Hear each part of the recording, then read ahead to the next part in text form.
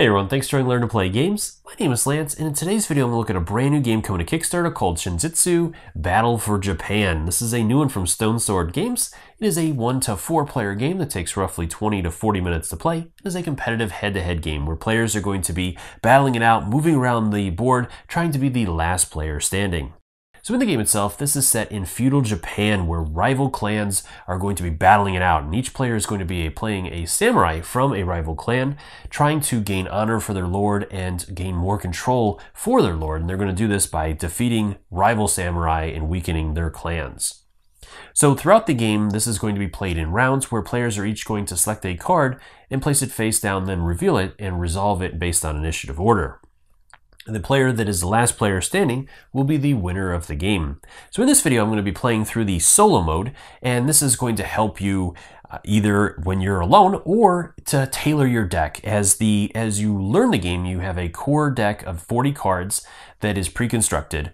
And then once you get the hang of it, there's a deck building element to this where you can custom build your deck to your playstyle. So this is a good way to test that out and see how your strategies work or develop new strategies. So you can go against one solo opponent or multiple solo opponents to really kind of test your mantle and see if you are able to hold up against your AI controlled opponents. And then once you have that situated, you can go against players and see how your deck matches up against other players as well. So that's what I'm going to be doing with this is testing this out and showing you how this works. And I did add a couple cards to my deck. This all of the materials you do see here are prototype materials and are subject to change. They're going to look better in the final production copy. So I only have a limited supply here, so I don't have all the cards that are going to be included with this to really go in and, and construct a fully customized deck. But I was able to add some additional ones in there, so we'll see if they pop up and we'll have some fun with that. So if you're just interested in checking out an overview video that I did, I'll have a link up in the top corner to that video where I cover the main features of the game and then just show you a sample turn. So other than that, as always, if you find these videos helpful, if you like what I do, please consider that like button, subscribe to my channel. It's one of the easiest ways you can support channels like mine so we can continue to grow and be able to produce this content. If you want to stay on all my videos, also considering that bell so you get notifications anytime I release new stuff. So let's go ahead to the table and we'll see how this one plays. All right, so we're ready to move into the game now. So first off, I went ahead and played the Sensei, which is going to be renamed the Master in the core game. And then I'm also going to be going up against Yuki. So with this one, the last thing I need to do is shuffle the decks so that you know that I haven't stacked them. So let's go ahead and take care of that real quick.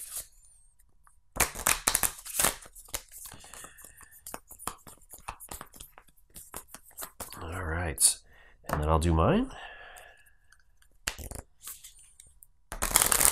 And the reason why they flip these cards around is I've found uh, through plenty of experience that uh, prototype decks actually shuffle better backwards, which is weird, but it works. So I get a better shuffle out of them when I flip them around, whatever, however the way they're cut. Then I'll draw my initial five cards, three, four, five. I get to add my samurai card to my hand as well. And then from there, then I get to move into it. And this is pretty, this pretty much works the same way as a regular battle. So each round, my player is going to draw one card into my hands, and then I will select one of my cards to play. I don't have to put it face down in this situation, as my opponent will draw the top card of the deck and then I'll resolve it. And so with the opponent's cards, as you're going to see in a minute, I'll explain how those work. So with my cards, uh, let's see here. So I will go ahead and play them in front of me like this so you can kind of see what kind of options I have at all times. So you can kind of see my strategy, hopefully. And then I get to draw a new card. So I have plenty of options. Initially, I like to try to move the most. So I do have some nice options here for movement with Trained Mind. And this is one of the custom cards that I added in. And other than that, uh, I don't have much else at the moment. So yeah, I'm going to go ahead and go with Trained Minds. And we'll see how that works out. So from there, then we're going to reveal a card. And so with the AI controlled deck, this is going to have two different sections based on how many hexes away my player is. So I, he's either going to use Calm Defense if I'm one hex away, or he's going to use Swift Mind if I'm two or more hexes away. So in this situation, he's going to use the Swift Mind which is an initiative of 9 versus my initiative of 2. So he's going to activate first, resolving all of his abilities. So first off, he has to move two spaces, and he's going to move towards me as his as outlined on his card. He moves towards my front, so he's going to simply move two, and then he would rotate one if he needed to. But right now he is facing my front, so he does not need to rotate, and so his card is done at that point. So then we'll go over my card as I have the lower initiative, and I get to move up to two spaces in my front arc, so it's one of the three spaces in front of me. And I get to do this twice. So let's move forward one, and then I'll move over one as well. Then I can also choose to rotate once, so I think I will do just that. From there, then I can search my deck and to draw a card, or I can change my Kami up to two branches. So I think I'll do that instead, and I think I'm going to go up to red. And I'm not at yellow right now, so I cannot do that. So then this is going to be discarded. And that will end the round. So at this point, then I would check to make sure I have my maximum hand limit of five cards. Your samurai card will never count for your hand limit. So from there, then I'll move into a new round. So again, I'm going to draw a card, and I have Evasive Step. That's an instant card. So now I have to choose another card. I am at red now, so I could try to do Quick Stab, which lets me move one, and then I could hit in front of me. But right now, that would put me here for my attack, and he is not there. So let's see. This one is a diagonal slash, which lets me move back one. So that's not going to help me at the moment. I have another instance. Uh, I could try for this one, which I think hmm, I might do because that lets me move one space diagonally. So if he picks a, a faster card, it might work to my advantage. So I think I will do that. So I'm going to go ahead and yes, I'm going to play that. So that one, is, then I will reveal his card. And so first off, we have Calm Defense, which is if he's one space away, which I am, or I would, if I'm one space away, which I'm not, or Rolling Slash. This is an eight. If I'm two or more hexes away, he moves diagonal one space in his front arc. Then he can turn and move diagonally again and then he's going to hit, and he can hit up to for two points of damage. So if he can get into that position there, oof, um, which is going to be his side over here. So he'd have to let's see if he moves here. And then again, he would move into one of these two spaces. So it's not going to get him where he needs to be for that. Um, so where is the... So it really doesn't matter too much. He is facing the other direction, so he is going to turn once first. And then he would move into one of these two spots, so it really doesn't matter. And then he would hit. Unfortunately, I'm, or fortunately for me, I'm not there, so I don't take any damage from that. And then it would move over to mine to go. So with mine, I can move into one of my diagonal spaces, which works out that I played a little bit slower attack this time. And then I get to hit for one. So I'll do one damage to him, and then it switches me to the green. All right, so that's discarded. These will move over. Actually, um,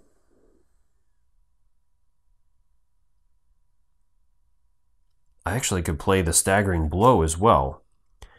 So I must, uh, in order to do this, which I'm going to take a step back a little bit just so I can show you how cool this stuff is with these uh, instant cards. So this one would be an augment, so it's going to augment the card that I played, and again, it must be a different icon than the one I played. So I played an attack card, so I must either, this must be an attack or a defense card or a meditation card, which this one is a meditation card. So with this one, I would be resolved at the same initiative as the one that I played. So it's going to be resolved now. And it's I must have given a wound or stun this round for this one to come into play. The With this one, a stun samurai is going to be pushed back one space. Or if I'm in red, which I'm not anymore, I'd be pushed back two spaces. And then with yellow, would let me do that. So he's not stunned, so it doesn't really help me in that situation. So I think I'll just spend it. That'll, and then I can try to get another card into my hand. Okay, so from there, I will draw a new card. And I got Pummel Smash. Okay, so we're face to face right now, so this could be a little risky here. Um, let's see. What can we do? I could go with that. Or I could go with a quick slash as well. Let's see if I can get another wound on him. I think I will do that. So I'm going to go ahead and do a quick stab. Then I'll reveal his card. He is also playing a quick stab. So when that happens, when we're tied and it's the same attack type or same card type, which cards are going to be resolved with defense first, then attack, and finally meditation cards. But since both of ours are tied, then it goes to the advantage. And currently I have advantage, so I will resolve my attack first. So with mine, I get to attack and do one damage to him. And then, is there anything else that I could do at this point? No, there is not. So then he would follow up and do the same thing where he's going to attack me. So I would also take a wound. So we just kind of traded blows there. So then this will go away and a new card comes out. So I have taunt. All right, that's not too bad. So from there, what do I want to do? Seems like he's had a fair number of fast cards. I am at green right now, so I could do that. Let's me move back one. This is a good card, but not going to help me at the moment. So, well, let's go ahead and try for this one and see what happens. Because I could always play the evasive step if this doesn't work out for me. So he played a wild block up to two hexes away. It's also it's a nine to, to three, so he's going to set his at the same value mine is. So he's going to set his at, at a five, which is the same as mine. So he would block that attack, and I could draw up to two cards. So I will draw one card for that. That uh, gives me uh, my extra card back, and I think I will. Yeah, I'm not going to play anything else for that. So then Moving into a new round, we'll go ahead and draw. So I have another quick stab.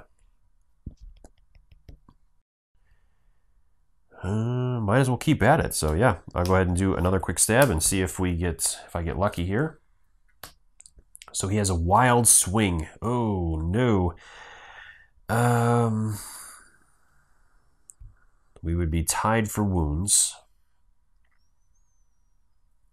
So I think I'm going to play the evasive step instead. So this is a instant card, but this is going to replace the card that I played. So this one will go over mine. I'm going to set it at, hmm, this one lets me move back one space. So it's going to get me out of range of him. So I might as well, might as well do it first. So I'm going to set it at nine. I'll activate first and I'll step back and then it's going to have me reset to back to my gatehouse and then his attack would go off and he's going to hit these three spaces for no damage so then i will draw a new card and i have i am all defense right now okay so what do i want to do hmm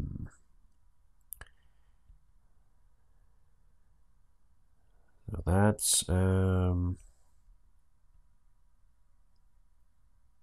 I'm going to go ahead and do the taunts. So I'm going to play that one there. Then he's going to play, he is up to two hexes away, so he's going to do a war cry. His is a higher initiative, so you can rotate one and move. Uh, and then, okay. So with his card, he's going to move. Let's move. Yep, he wants to move towards my left side. And then because my card's slower, he is going to cancel my card out. And then he switches advantage as well. So man, that was rough. All right, so then I can't do that. I will draw a new card into my hands. Another river block. Oh no. what to do? Um, I have a diagonal slash. Unfortunately, that's on my other side. I need to get onto his other side to make that effective. So that is not going to help me at the moment. So I guess I will play the river block and try to defend against that. We'll see what happens with that. All right, so then he is going to play a horizontal cut. This one is going to have him rotate one, move diagonal one space. So he's going to be trying to get into my rear there. Um, but his attack is slower than my, than my defense. And my, that is going to unfortunately be on these sides here. So I'm going to have to set it faster.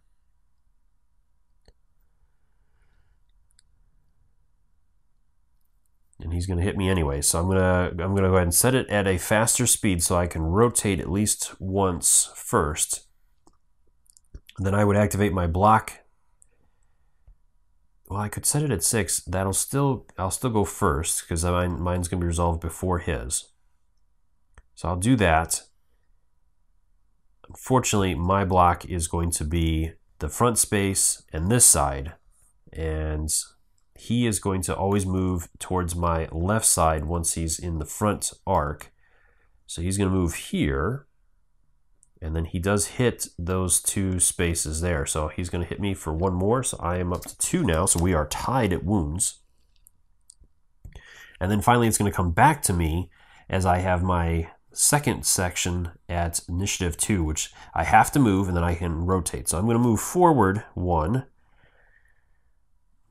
Do I want to do that? Um, or I could rotate. The diagonal slash, unfortunately, is on my other side at this point, so I'd have to turn all the way around just to try to use that. Hmm. Yeah, I will move forward one and then turn one this way. Okay. So that'll take care of that. All right, uh, I get to draw a card. Deep Meditation, so it's another movement card. All right. So it's a slow card. He is facing, he's two, roughly two turns away from me. So Deep Meditation would kind of get me potentially into a better position to get towards his back and maybe buy me a little bit of time here. Um, or I could play, I could go defense, but he's already starting to move around my backside, so I don't know if that's going to help. So, hmm. I think I'm going to risk it. I'm going to try the deep meditation and see what happens here. See if I get lucky. All right, so we have the horizontal cut. His is a faster initiative, so he's going to turn one this way. And then he has to move diagonal. He'd either move into my space or this space. So he doesn't want to collide with me, so he's going to have to move away. Then he hits these three spaces here. So no effect there. So that worked out in my favor. And then I can move one first, and then I can rotate twice. So that's going to keep me in there. Then I can drop to two cards, or I can view my opponent's hand, which isn't going to help me in here, but then I can switch to yellow, so I'll do that. Okay, uh, from there, new turn or new round, so, ooh, that's a powerful attack. If I get that to go off, that'd be, that'd be really helpful. Oh, let's see. He's had a lot of fast attacks, so there's a chance that it might I might be able to get it off. Um, sure, let's go ahead and try it and see if we get lucky here. It's a quick stab. It's one space away. It would he's going to rotate and attack here. So his does not work, and then mine goes off, and I'm going to hit him in the front for two damage. All right, so I'm up to four on him. One more, and he is toast. Now I have to discard one card. I think I will discard this one here. And then I have to return to my gatehouse. So then, uh, new round, I'll go ahead and draw a card. So I have Wild Block. All right, uh, let's see. I am all defense at this point, so hmm. I have that, but again, I'm on the wrong side of things. And do the calm defense and see how that helps. So he has the dash down strike up to two hexes. It's a six, so I'm going to set mine at six.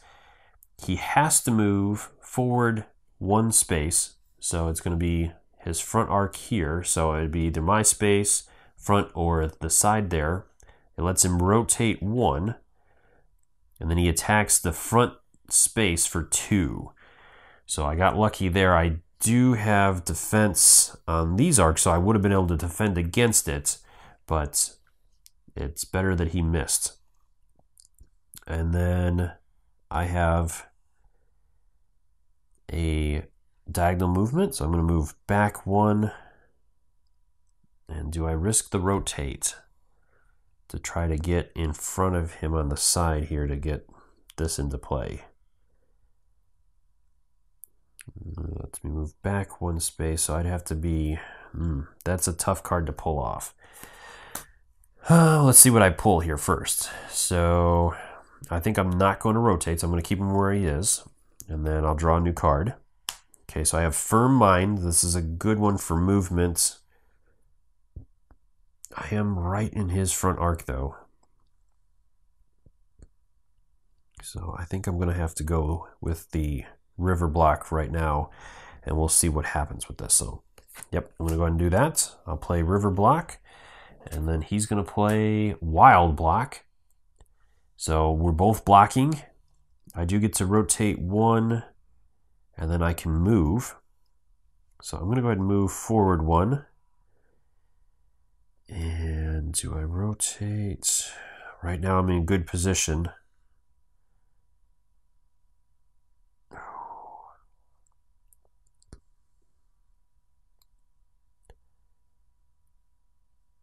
I think I'm gonna I think I'm gonna stay there and, and risk it. Okay, so that's that, and his is done. So then we'll I'll draw a new card. It's another firm mind. Ooh. So Oh boy. Um I could try for the diagonal slash and hope that he doesn't move. If he moves, I'll still get him. Yeah, so I'm going to go ahead and try it and see what happens. I'm going to go with the diagonal slash. This could be it. He plays a horizontal cut, so it's a rotate one. And he's going to go into this space because he's going to try to get towards my backside. He's going to hit me for one. So I take my third wound. Then it's going to come over to me as my attack was slower. I get to move back one space if I want to, which either one of these spaces is going to work. So I'm not going to move and then I will attack and that will be two damage to him. So that is going to finish him off. Close battle, three to three to, to six there, but yeah, he had four wounds on him to my three. So very, very close. So I hope you found this video helpful in deciding whether or not this is one you want to back on Kickstarter. If you have any questions or comments, please post those in the comment section below and I'll do my best to answer them or swing by the Kickstarter's main page, drop any questions you have there as well. I'm sure the creator would love to hear from you, is more than happy to answer any questions you have.